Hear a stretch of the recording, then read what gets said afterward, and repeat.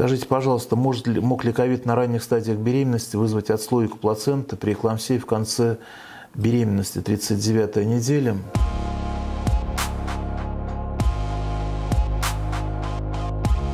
Я бы сказал так, осторожно, очень осторожно сказал бы, что это не исключено.